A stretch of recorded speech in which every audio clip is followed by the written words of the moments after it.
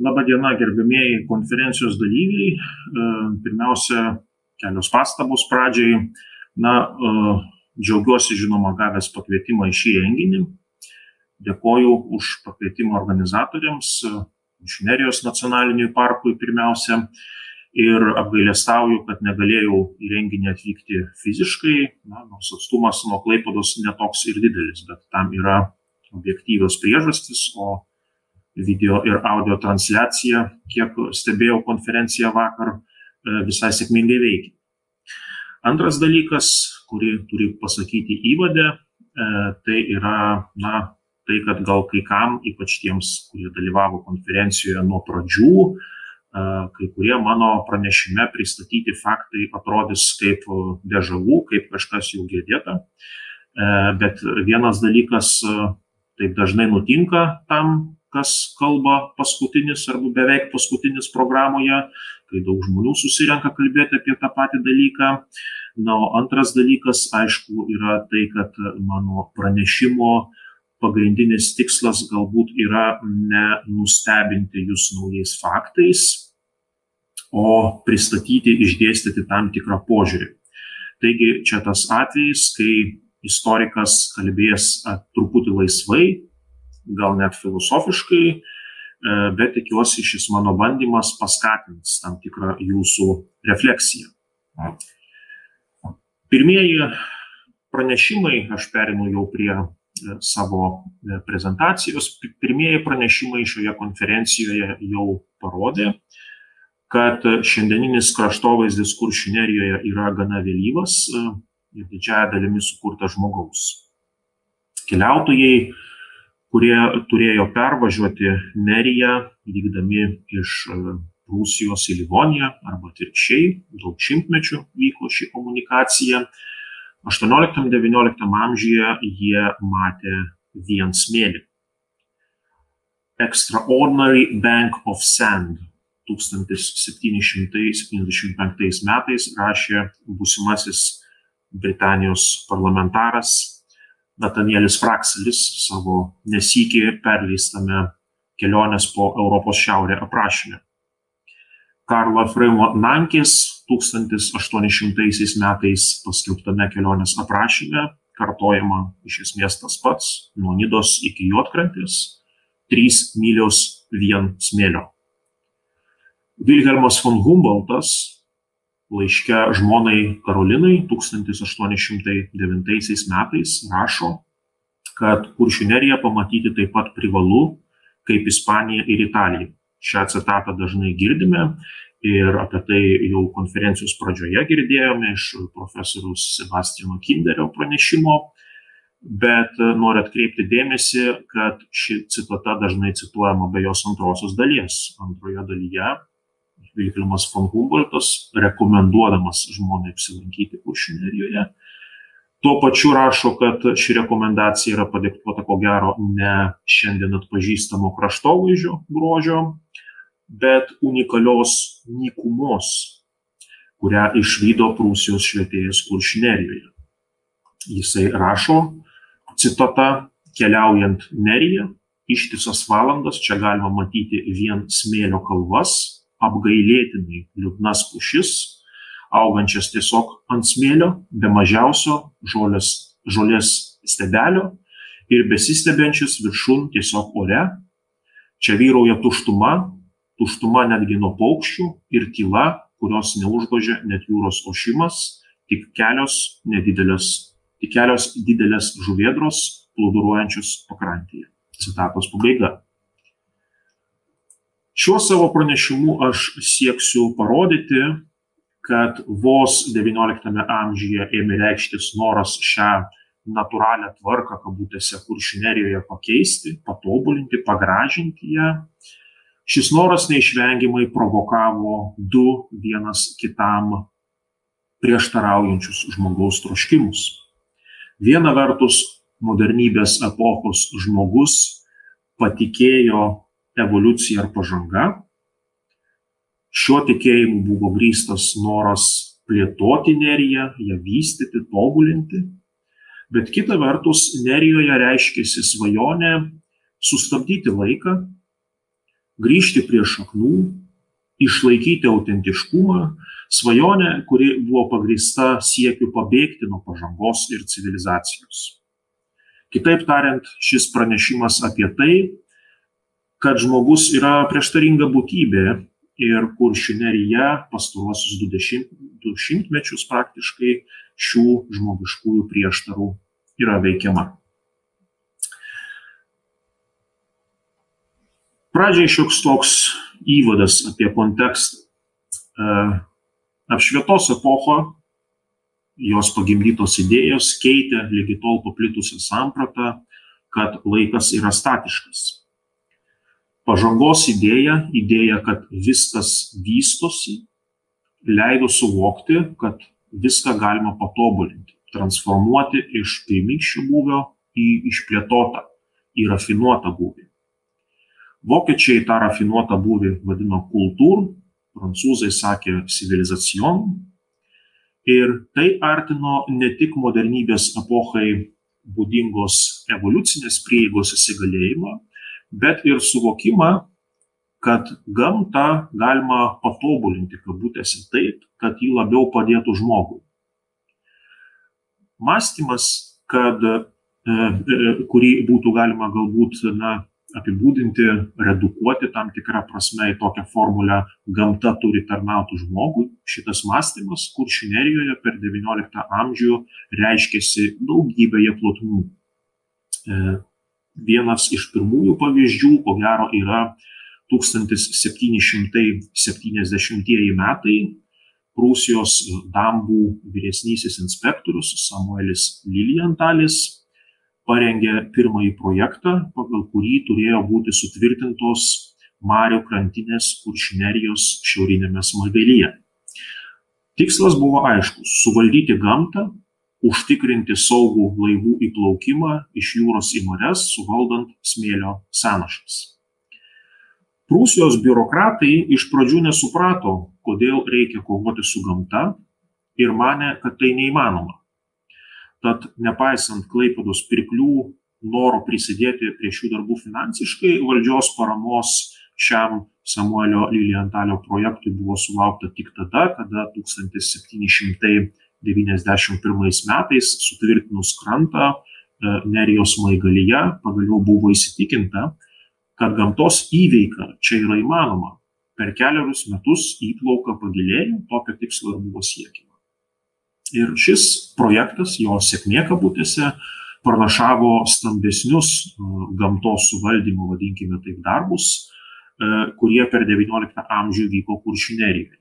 Na, mes juos visus žinome, tai yra apsauginio kopabubrio formavimas e, palei jūrą, tai yra smėlio keliamos erozijos stabdymas augalais, tai yra miško sodinimas, tai yra kranto prieauginimas, apie kurį jau kalbėjo Jonas Trakauskaitė Marių pakrantėje, ir to kranto tvirtinimas nendrėmis, tai yra pietinio molo statyba ir taip toliau. Visi šitie žygiai buvo vedami noro apsaugoti nuo pūstomo smėlio ir ledonešių įplauką į kuršių marias ir žvėjų gyvenvietės. Na ir rezultatas, žinoma, buvo aiškus. E, pavyko pasiekti, kad farvateris būtų stabilizuotas, E, keturis šimtmečius egzistavęs Naglių kaimas e, e, tapo paskutinė smėlio užpustyta Nerijos gyvenvietė, tai vyko 1836-1845 metais. Kuršinerijoje smėlio dominuojamus peizažus pamažu ėmė išstumti augalyje ir miškai. Su ta pačia gamtos tarnystės žmogui formuluotė galima sėti ir gamtos turtų eksploatavimo praktikas. Kalbu ne apie tradicinį nerijos gyventojų pragyvenimo šaltinį žvejybą, bet pirmiausia apie bendrovės e, Štantin Becker e, veiklą Juotkrantėje. XIX amžiaus antroje pusėje, tris dešimtmečius iš eilės šita bendrovė pramoniniu būdu Marių dugne kasė gintarą. Kai XIX amžiaus antroje pusėje Kuršinerijoje pirmiausia toje pačioje juodkrantėje ėmė plėtotis pirmieji kurortinės kultūros daigai Vėlgi daigai, kurie paskui save irgi nešė modernybės epokai būdingą troškimą poilsiauti patogiai, užtikrinant visus patogumus, infrastruktūrą ir sanitarinės sąlygas, vėlgi mes matome tą pačią tendenciją. XIX amžiaus pabaigoje, XX amžiaus pradžioje juotkrantėje suformuojamas vilų kvartalas, vadinamasis Vilenfirtel, buvo pastatytas būtent paisant tokio troškimo. Reiškia, jis, kaip matysime, tas troškimas reiškėsi ir vėliau. Juotkrantė, kurios kurortinę aurą pirmiausia kūrė Tilžės, Klaipados, Karaliaučiaus pirkliai, tapo šių miestų pasiturinčių sluoksnių poilsio vieta. 1913 metais Karaliaučioje buvo parengtas projektas už 1 milijoną 700 tūkstančių markių sujungti juodkrantę su krantu, krans, taigi su karaliaučiumi, siauruoja geležinkeliu.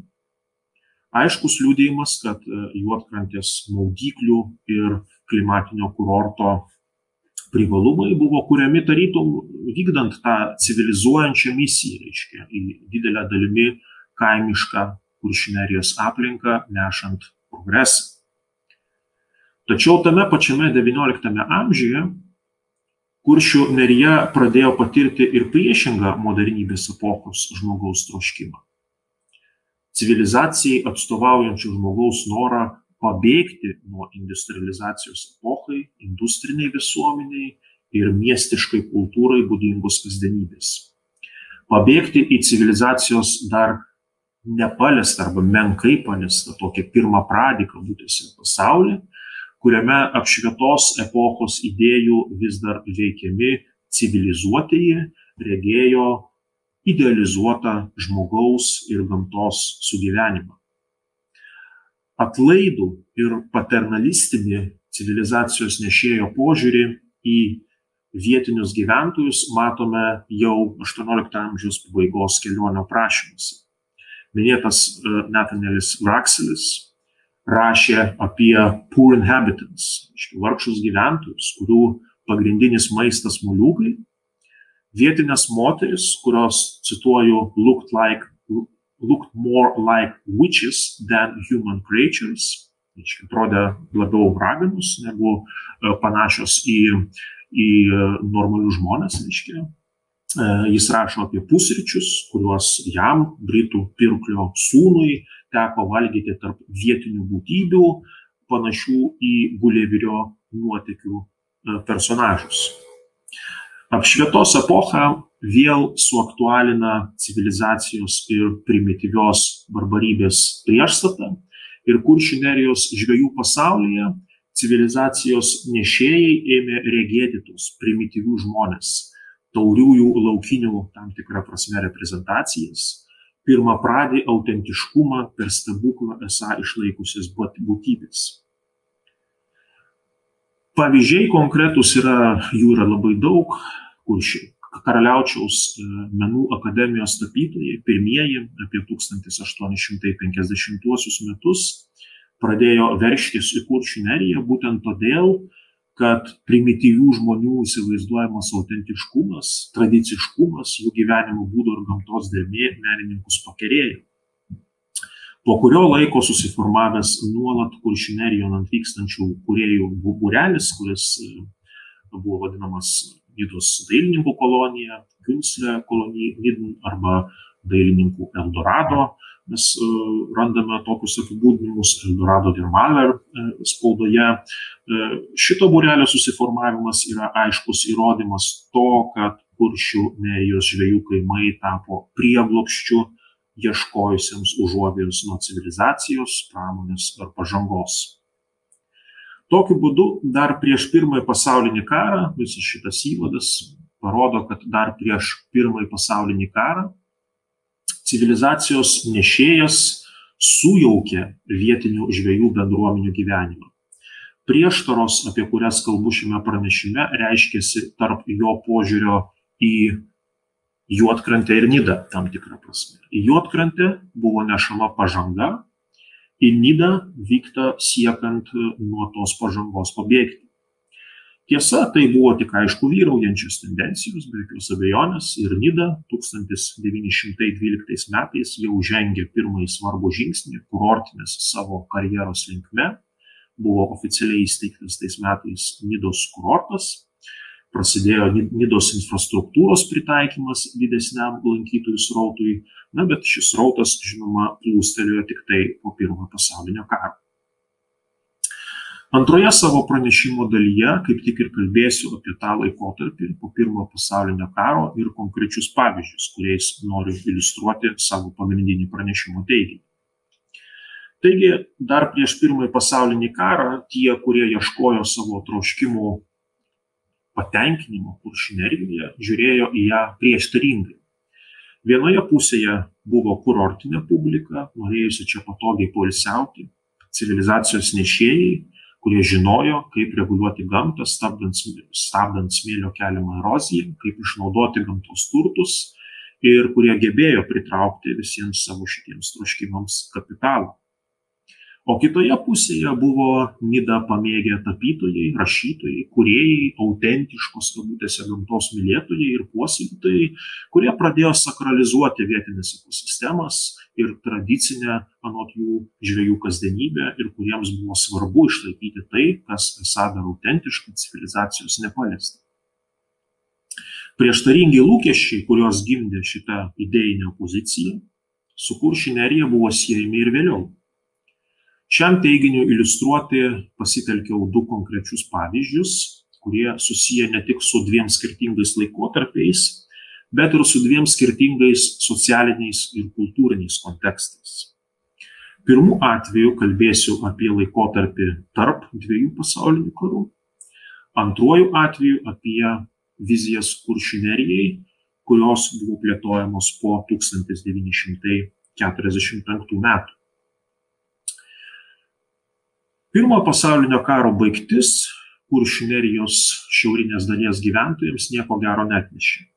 Be visų ekonominių sunkumų ir asmeninių praradimų kuriuos sukėlė karas situaciją sunkino faktas kad 1920 metais kuršių nerijos gyventojai kartu su visu klaipėdos kraštu buvo atskirti nuo vokietijos.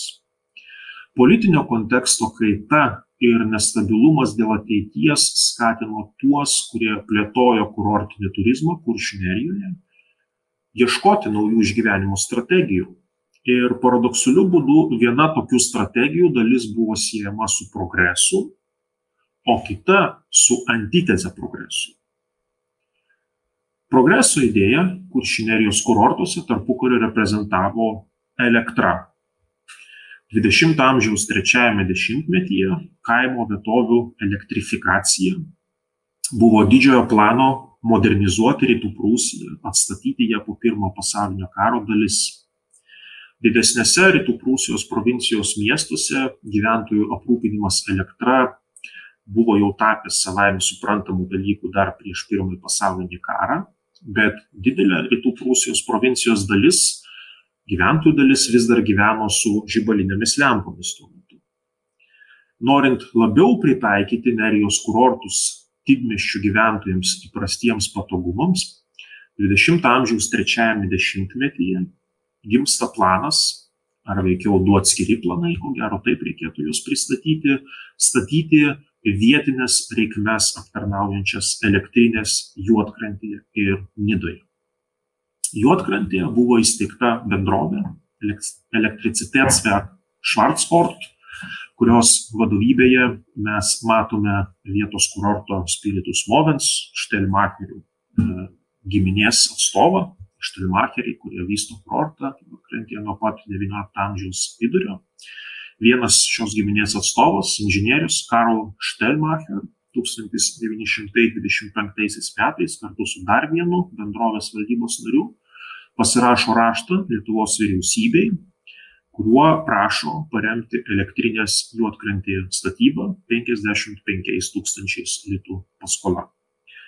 Šį raštą aš aptikau Lietuvos centrinėme valstybės archyve, ieškodamas visiškai netos informacijos, bet to rašto svarstymas vyko Lietuvos Respublikos vyriausybėje 25 metų gegužės 19 dieną vyksta posėdis ir Lietuvos Respublikos ministrų kabinetas Juotkrantės elektros stoties administracijos prašymą suteikti jai paskolą atmetė.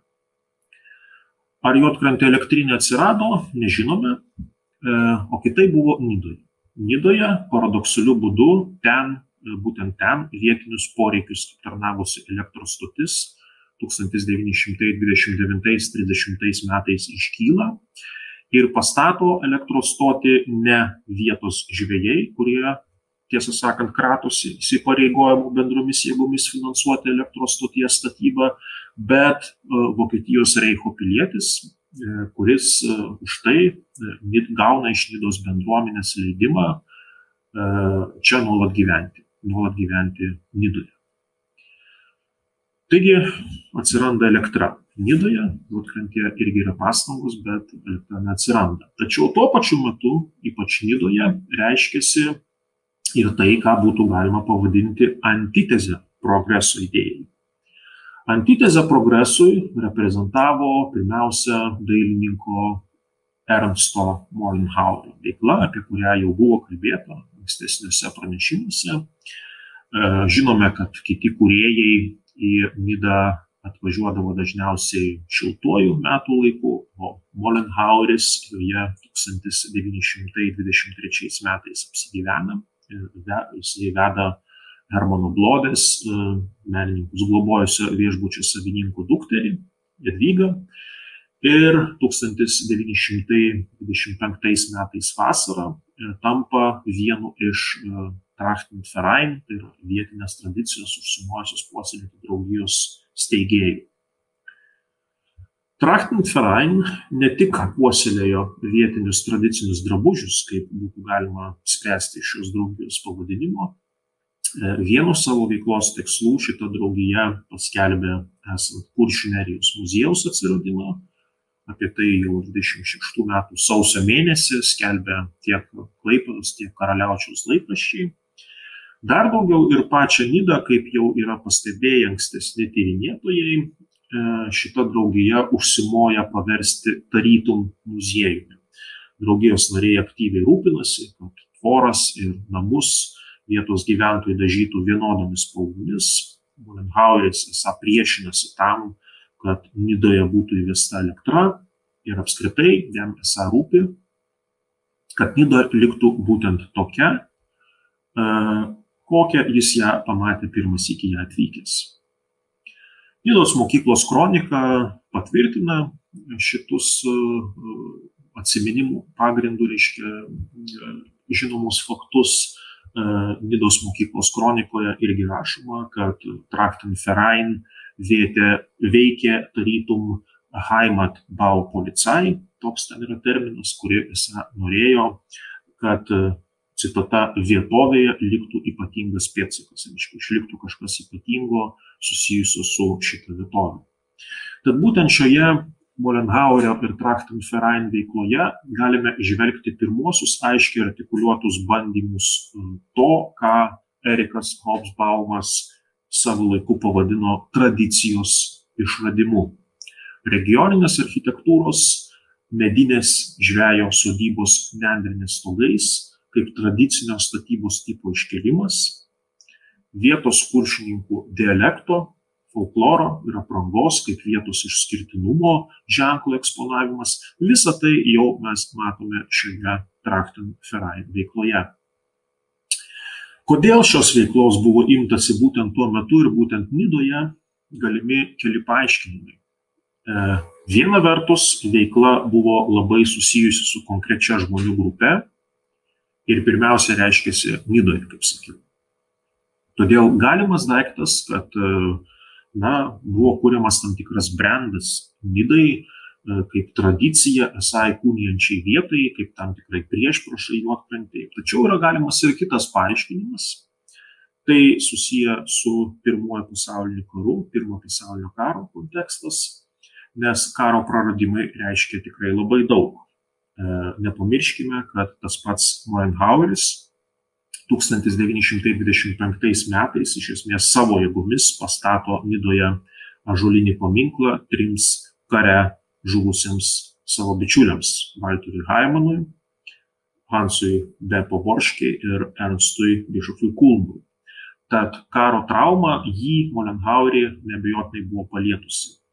Karas tiek daug visko pakeitė, kad Molenhauriui galbūt buvo aktualiau nei kitiems ieškoti tam tikro stabilumo, pastovumo dalykuose, kurie jo įsivaizdavimu lietai keitėsi ir arba beveik visai nesikeitė. Na ir tuometės, aišku, etnografijos žinios, tokios kokios buvo tuo metu, 20-ojo amžiaus pradžioje, toje situacijoje matyti padėjo sugeneruoti tam tikrus orientyrus ir atsakymus Morenhauriui, kur ieškoti to stabilumo, to pastovumo. Antras pavyzdys, kuriuo noriu parodyti lūkesčių ir vizijų susietų su kuršinerijos sandūra, priklauso jau visai kitam kontekstui. Tai laikotarpis po antrojo pasaulinio karo. Karo pabaiga, karo pabaigoje e, Nerija praranda daugumą, daugumą savo gyventojų, jie buvo evakuoti į Vokietijos gilumą, po karo grįžta tik daugiau nei dešimtadalis, šiek tiek daugiau nei dešimtadalis gyventojų. Na ir naujieji šeimininkai pirmuosius 10-15 pokario metų į kuršineriją žiūri iš esmės utilitariniu žvilgsniu. Pirmoji valdžia po karo buvo kariškių valdžia, e, raudonarmiečiai ir pasieniečiai e, viską užėmė ir pasiemė, ką tik sugebėjo. Atėjus civilinės valdžios atstovams į kuršineriją pirmiausia pradėta žiūrėti vadovaujantis tuo pačiu apšvietos epochos racionalaus žmogaus pagimdytų požiūrių, kad gamta turi tarnauti žmogui. Kuršių nerijoje plėtojama žuvies pramonė, čia yra sukūriami žvėjų kolūkiai, Nidos žuvies įmonė, naujieji gyventojai, kurie yra atkeliami į kuršių neriją, jie jungiasi prie vietos sambuvių įgyvendindami žuvies sugavimo kuršių mariuose ir Baltijos jūroje planus, kuriuos sugalvoja vyriausybė ir taip toliau. Utilitariniu žvilgsniu pirmiausia pradėta žiūrėti ir į mišką liaudies ūkiui tuo metu atstatyti reikėjo aišku statybinės medžiagos tai natūralu kad kuršių nerijoje jos buvo ne tiek jau ir mažai. Bet šeštajame dešimtmetyje nidos e, e, neringos miškų ūkis e, pradeda nuo karo pabaigos apleistus kopagūbrio atkūrimo darbus ir smėlynų sutvirtinimą.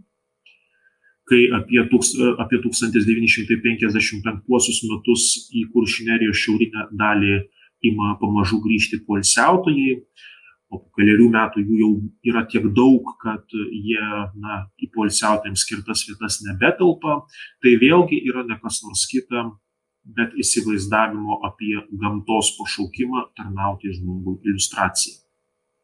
1958 dar viena iliustracija Lietuvos TSR pajūrio zonos išplanavimo projektas, kurį parengė Žemės ūkio statybos projektavimo institutas, siūlo, kad lietuviškojoje nerijos dalyje darbo žmonėms reikia statyti du visiškai naujus kurortus, kurios, kuriems pavadinimai yra sugalvojami na, pasitelkiant istorinius pavyzdžius, tai yra Nagliai ir Agila. Taigi beveik visi požiūriai į neriją kurie išsikristalizavo per pirmuosius penkiolika pokario metų rėmėsi nepaliaujamo progreso ir įsivaizdavimo kad civilizuotas žmogus gali palenkti gamtą savo poreikiams idėjomis. Žvejai turėjo sugauti daugiau žuvies naudodami našesnius metodus. Miškininkai turėjo pasirūpinti kad jūra nepralaužtų kopagūbrio smėlis būtų sustabdytas poilsiautojams turėjo būti užtikrinta minimali infrastruktūra ir net sugalvota, kad jiems reikia statyti du visiškai naujus kurortus. Maža to, racionalumas diktavo, reikia kompleksinio požiūrio.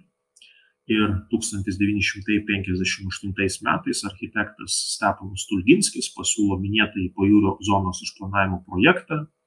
59 metais kaip šito kompleksinio požiūrio ieškojimo tam tikras pavyzdys galėtų būti paminėtas faktas, kad 59 metais Lietuvos TSR mokslo akademija Klaipėdos miesto vykdomo komiteto prašymų svarsto pagrindimą idėjai, kad prie Lietuvos TSR reikia prijungti ir pietinę kuršinerijos bei kuršių marių dalį.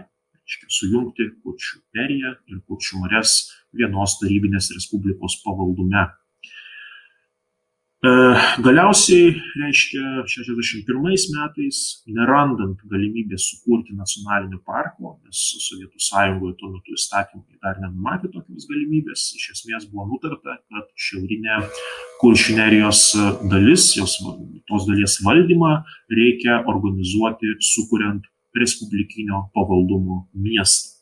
62 metai dar vienas pavyzdys, botanikas Erikas Purminas ir miškininkas Marijonas Daujotas siūlo naujų kurortų statyti nereikia, reikia plėtoti esamus, reikia tobulinti infrastruktūrą, reikia pagaliau išasfaltuoti per neriją vingiuojantį kelią ir taip toliau. Taigi, matome, reiškia, bandymą į neriją žiūrėti utilitariškai, bandymą ieškoti tam tikrų, reiškia, sprendimų su, suderinimo kelių ir panašiai. Tačiau 20-ojo amžiaus 70-ame dešimtmetyje šitą tendenciją išnaudoti viską, ką gamta davė žmogaus labui, tendencija gamtą prijaukinti, vėl papildo iniciatyvos, kurių prigimtis formavo antitezę pažangos idėjai. 63 metais Vladas Tauskas Lietuvos spaudoje, architektas Vladas Tauskas Lietuvos spaudoje jau pradeda kelti idėją apie to, kas nerijoje specifiška, paieškas ir išsaugojimą. Įsijungus ir kitiems protams, mintys rutuliuojasi toliau, e, teigiama, kad statyti kažką naują nerijoje reikia atsargiai, jau teigiama, kad nauja statyba turi semtis įkvėpimo iš gamtos, Kiek vėliau, apie 1970 metus, neringos architektūroje atsiranda pirmieji to, ką Marija Dremaitė vadina regionalizmo architektūroje pavyzdžiai, tai yra tam tikra atsvara industriniai modernizmo architektūrai su dominuojančiomis stiklo, grubaus betono ir plieno medžiagomis. Na, o 1964 metais jau aiškiai formuluojama citata būtina išsaugoti senųjų neringos gyvenviečių etnografinius ypatumus. Citatos pabaiga. Taigi vėl grįžtama prie to 64 metais, ką Molenhaueris visai kitame kultūrinėme ir politinėme kontekste propagavo prieš 30 metų. Ir iš tiesų, 80-ame dešimtmetyje paminklų konservavimo institutas, istorikas Adolfas Raulinaitis jau atlieka tyrimus, kuriuose suformuluojami konkretūs pasiūlymai, kaip nerijos gyvenvietėse turi būti tvarkomas apželdinimas, dangos, švietimas ir kiti kraštovaizdžio aspektai, kad būtų išlaikyta tai, ką galima atsekti iš istorijos ir etnografinių šaltinių. Reikia pasakyti, kad tuo metu dar gana atsitiktinai parinktų šaltinių, lyginant su šiandien. Taigi tam tikrą prasme tai vėl yra siekis stabdyti laiką, apibriežti ir išryškinti tai, kas nerijoje yra savita, unikalu ir tradiciška. Tai štai, aptarę šios du pavyzdžius, pabaigoje turbūt e, turėčiau kelti klausimą, ne kada visa ši pranešime aptartoji modernybės epoko žmogui būdingų priešingų troškimų sandūra pasibaigė. Bet ar jį pasibaigė? Ar gali būti taip, kad nerija jau du šimtmečius, tarytum užprogramuota apšvietos idėjinių algoritmų, vėl ir vėl grįžta prie to paties. Kad du vienas kitą, vienas kitą tarytum, tarytum neigiantis norai, noras gyventi progresyvioje aplinkoje ir gauti naudą iš gamtos, viena vertus ir kita vertus noras gyventi progreso nesužalotoje aplinkoje, pažįstama mums iš istorijos šaltinių ir etnografinių aprašymų, kad šitie norai vis dar aktualūs. Tai yra klausimas, kurį keliu diskusijai. Ačiū uždėmesi.